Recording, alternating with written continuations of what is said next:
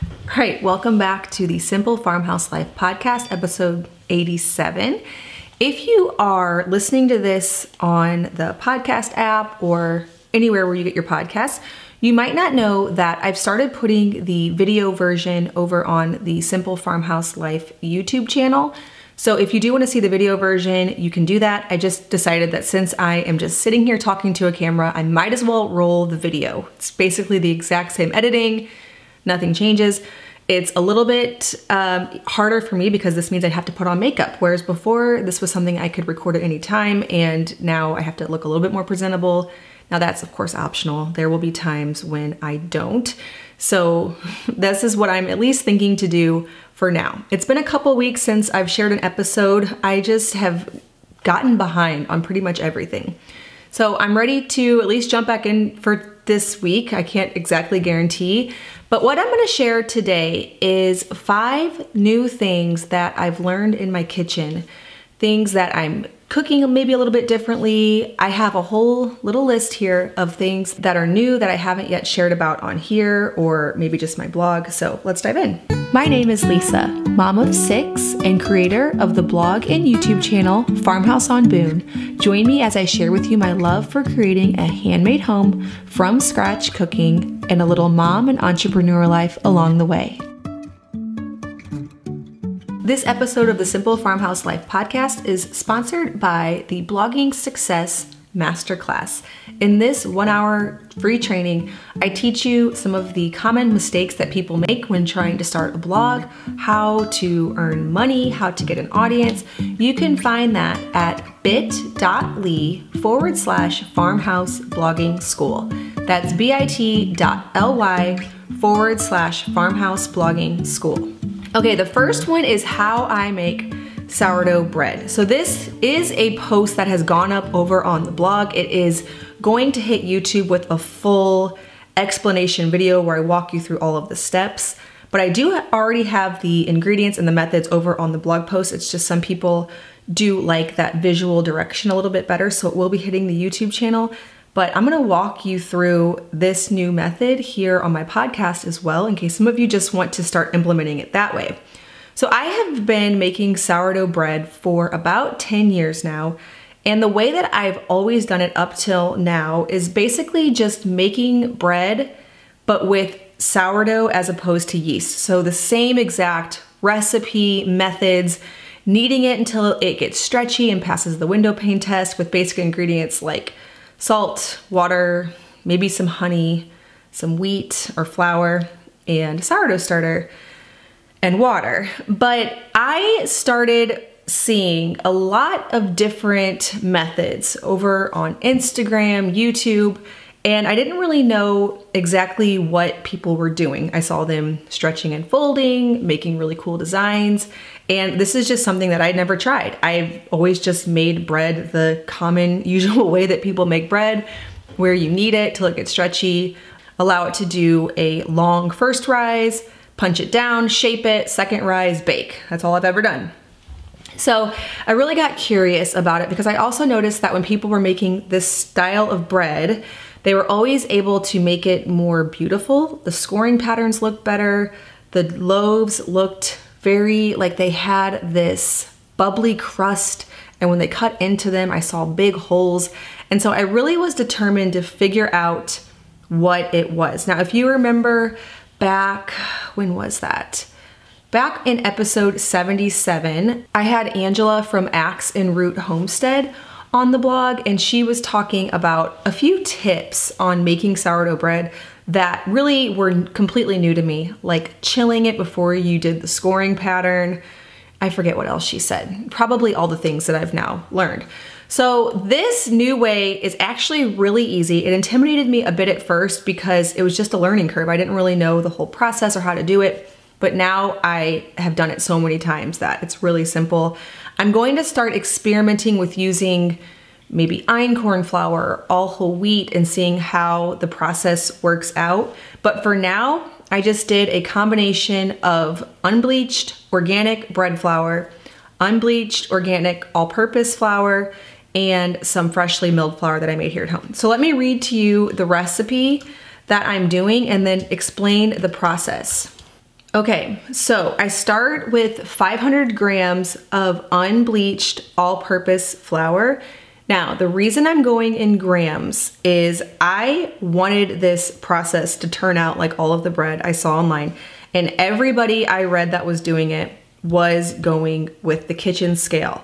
And I wasn't really sure which part of this process was optional or which part was actually gonna make it yield better results. So the first time I did it, I actually got on Josh Weissman's YouTube channel and completely followed his method to a T. And he does this thing where first he makes a levain and then he lets that sit out for several hours and then he measures different flours and I followed it to a T. And then I dropped one part of his process to see was that the crucial thing that made the bread so much better whenever I followed his and then I drop another thing and I feel like I finally figured out which things I could eliminate because I always like something simple whereas if it, if it requires making a levain ahead of time that's just another step if it's gonna yield a better result, I'm great with that. But if it it's not, then I want to actually figure out if I can just get away with not doing that. So I decided that that part was definitely optional and I eliminated a few other things. I tried once without any of the bread flour and I didn't get as good of a result. I also tried going straight in with some sourdough starter from the refrigerator, not freshly fed, and I couldn't really tell much of a difference. So here is the process that I have pared down. So 500 grams of unbleached all-purpose, 200 grams of freshly ground whole wheat, 250 grams of bread flour. I just use a postage scale because my hands look huge on this because I have my wide angle zoom lens on. Um, I just use a postage scale because that's what I have and I just press tare in between each flour so that it goes back to zero and then I can just add to it. To that, I add 650 grams of water and then allow it to sit and soak up all the water. I, again, I don't really know that this part is necessary. So if you don't have a lot of time, you could go straight in to adding 200 grams of mature starter and 20 grams of salt. Now this next part is the part that makes all the difference. So allow it to rest for about 30 minutes and then start doing these stretch and folds. This is where you pull the dough up away from the bowl and then set it back down. You rotate the bowl and you do this all the way around. If you watch Ballerina Farm over on Instagram, you will see her doing this all the time. I always saw her doing it and I wasn't sure which part of the process that was supposed to happen. I didn't know if that was kneading. Well, that's all. There is no kneading. So after you do six stretch and folds, you allow it to bulk ferment for anywhere from three to 12 hours. Then you cut it in half, shape it into two balls, allow it to sit out to develop a little bit of a skin, flip it over, shape it, add it to a Banneton basket, and then allow it to rise overnight in the fridge. This is crucial. This is what yields a beautiful result. And I really still am not sure why. It somehow just makes the outside perform better. It gives it this crusty crust with this really fluffy, soft interior. I have found that this part is really crucial. Now, it's a little bit tricky because you have to, if you want bread tomorrow morning, you need to think about it this morning. So if you want it to rise overnight in the fridge, even with a really active starter, it's just going to be really slow. So anyways, I love this method. This is the way that I'm going to be making bread from here on out. It's really so simple and once you have the recipe memorized, it isn't something that you have to think through like when's the next stretch and fold when's the shaping part it's actually only a few steps once you have it all memorized so that is something that I've been doing lately in my kitchen. I've been having so much fun practicing different scoring patterns. Everything I try ends up looking pretty because when it chills overnight, it just develops this really beautiful skin. And when you cut into it with a scoring razor, it almost always looks pretty and it always tastes delicious. So you can head over to the blog farmhouseonboone.com and get that official recipe and process or visit the YouTube channel. It's coming out on Tuesday, so March 9th, and I promise you, it'll be the best bread you've ever had in your life. That's how I feel about it. So making sourdough bread with stretching and folding, that's the first thing. The next is I am learning about copper pots and pans. This is something that I knew nothing about except for that I thought all of the copper pans I saw hanging in people's kitchens were really beautiful, but I didn't really know exactly the ins and outs of cooking with them and I still really don't, but I have done some research and I've ordered some copper pots and pans from a seller on Etsy. I actually found someone who has them very reasonably priced. They're made in Texas, so made in the USA, and they have the all the benefits of cooking with copper, the even heat distribution. So let me give you a quick rundown on at least what I know, and then I'll be updating you later on how they cook. So the reason that first of all I became interested in copper pans because I love my cast iron. I really don't need copper pans, but I also felt like I needed a few saucepans because I have one large saucepan, no small ones.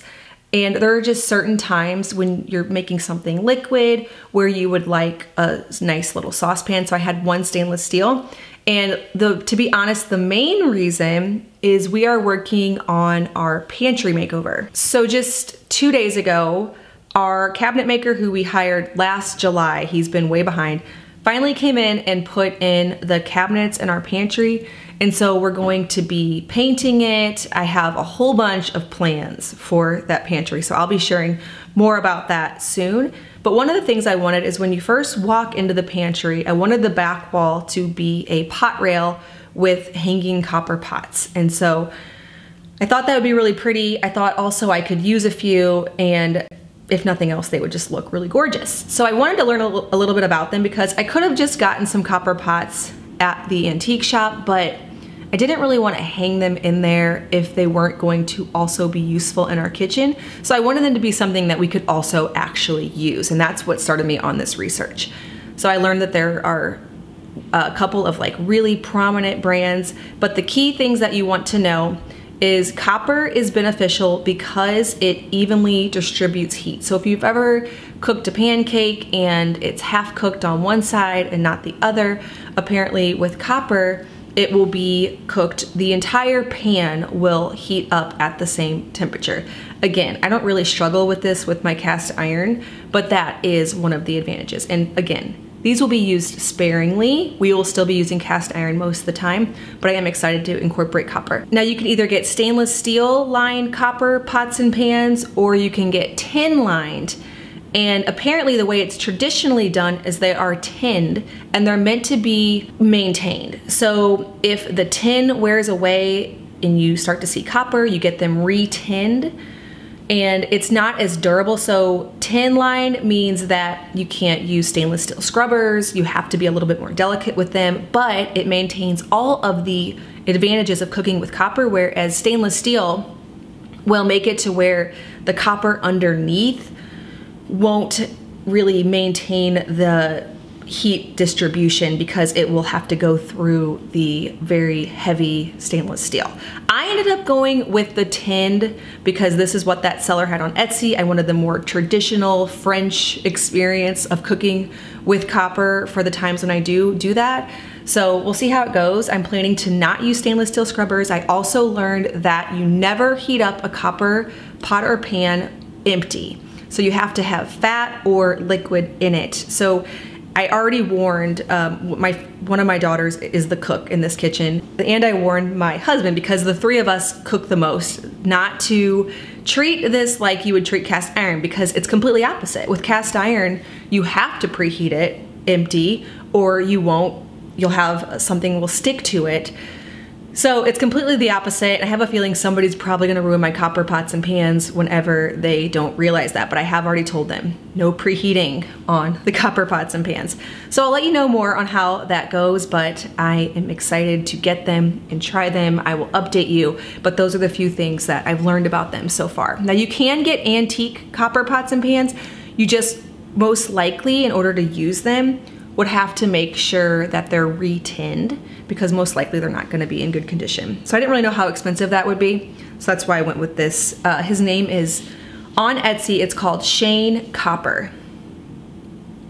Okay, the next thing I've learned is rendering fat. Now this should not be revolutionary for me, but it's just one of those things I've never done. We make bone broth, we ferment. I've never rendered fat. I mostly just use butter and coconut oil, occasional olive oil, but coconut oil and butter are, our preferred fats. And I was reading in my friend Dr. Ashley Turner's Restorative Kitchen cookbook on rendering fat. And this is great because if you buy meat from local farmers, there are parts that the butcher doesn't really use. Like, for example, chicken feet, they're really good in bone broth. You don't want to discard those. And normally I think they get thrown away. So that's a way that you can redeem that and use that. It gives gelatin to the bone broth. Well, fat, again, is something that will not all of it because some of it will go with the cuts, but some of it will get thrown away and you can request that from the butcher. So like last time I ordered meat, I also got a bag of fat. And the way you do it is you just put it into a pot with the lid on. So I used my stainless steel, the one saucepan I have, which this makes me wonder how it would do in copper. Probably would do well. And cook it till it sizzles off, strain it off, and then just return it to the heat and keep doing that until all the fat cooks out. You strain it off with a fine mesh strainer and you'll have a hard white fat left over that you can use for cooking. So I do this in a way with bacon. Whenever I cook bacon, I will strain off any solids and just keep a little jar of bacon fat next to the stove and then cook with that for the next few days. It's the same way, but you can do it with any fat. So it seems really obvious, really easy. I just hadn't done it and I've been enjoying rendering fat lately. Okay, the next thing is kamut. Um, kamut grain. The reason I got into this was a friend from our old church bought a 50 pound bag of kamut from Azure Standard that they just weren't using. She said, we have, we've had this for a couple years, we're not using it, would you want it? And I was like, I always take free food. I'll either give it to the goats, the chickens, or we will eat it. We'll find a way to prepare it. So I bought the, I'm trying to see if I can see it here. My camera is actually resting on books instead of using a tripod, so it's probably in this pile. But the Kamut cookbook by the Food Nanny. So it's called For the Love of Kamut. I purchased it and we have been using a lot of her recipes. So I have my grain mill and we've been milling the kamut. We made her kamut pretzels. We made one of her coffee cake recipes. So what I've gathered from kamut and what I've done a little bit of research on, on why you would want to use kamut is it's non-hybridized. So like einkorn, it's an ancient grain that hasn't been changed repeatedly over the years. It can be used as a one-to-one -one replacement for whole wheat flour but like I said, that cookbook that I got has kamut specific recipes. Now, if you if you get the bran out, which I never have made an all-purpose flour at home, so if you wanna buy like an all-purpose kamut, that is how you would do all-purpose. So you could also do that. Just like with einkorn, you can do the all-purpose einkorn, or if you include the entire grain, you can just mill it at home.